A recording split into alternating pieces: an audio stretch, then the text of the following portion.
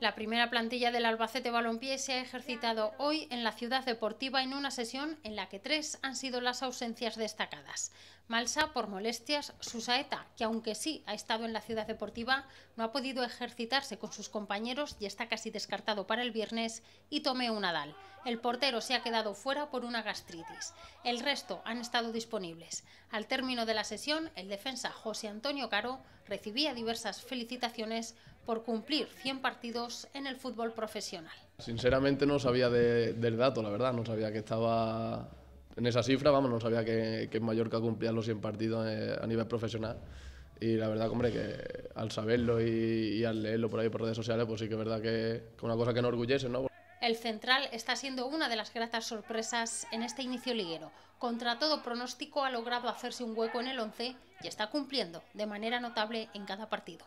Eh, en seis jornadas, pues bueno, hemos conseguido eh, esos 12 puntos, además con rivales difíciles, en campos difíciles y, y, con buenas sensaciones, que, bueno, que siempre hay que ir corrigiendo pues, cosas dentro de los partidos. Corregir, uno de los verbos más repetidos en las últimas ruedas de prensa.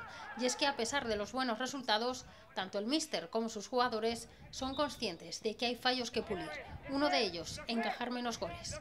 Sí, bueno, pues esa puede ser una de ellas, quizás, pues hacernos fuertes, aunque yo pienso que sí que estamos, que estamos en buena línea también de, defensiva, porque tampoco somos un equipo que, que encajemos bastantes goles, pero, pero sí que es verdad que la portería cero la hemos dejado solo ante el Córdoba y en esta categoría dejando la portería cero te asegura muchísimos puntos, pues en este caso sí que, sí que sería buena opción esa.